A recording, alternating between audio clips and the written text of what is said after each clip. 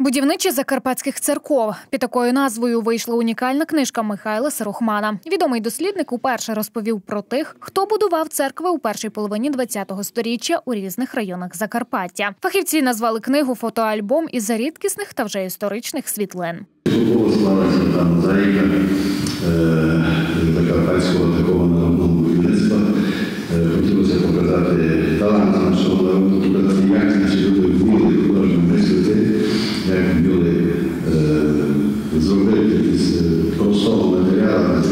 середовищі, в якому вони жили, жили серед дерева, наскільки це дерево могло бути поетизоване, як воно могло здобути художню форму. Це можна було люди, звичайно, без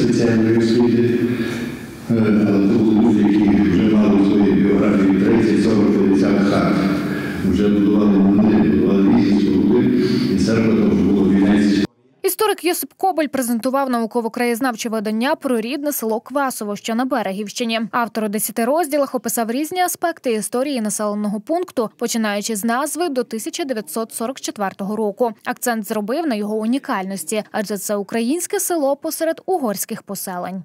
співжиття, е, воно наклало свій відбиток і на розвиток там матеріальний, в тому числі духовної церковної культури, яка була і є у нашому селі.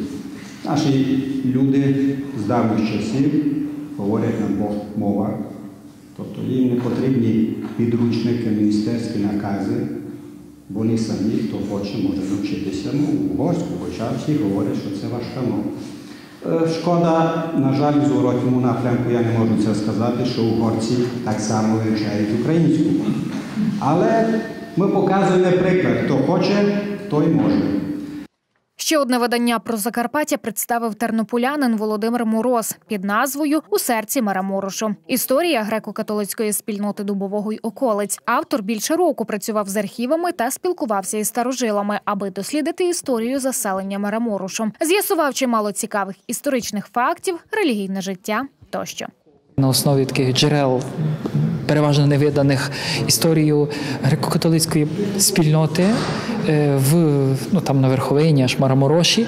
Е, Від її початків, хоча е, я трішки дав і перед історією, ніби як воно сформувалася, та історія греко-католицької громади, і до, до, до сучасності. Тобто це від середньовіччя до тепер. Верхів'я річки Тересви. Представлені видання вперше докладно висвітлюють різні аспекти життя Закарпаття і мають непересічне значення для культури та духовності краю.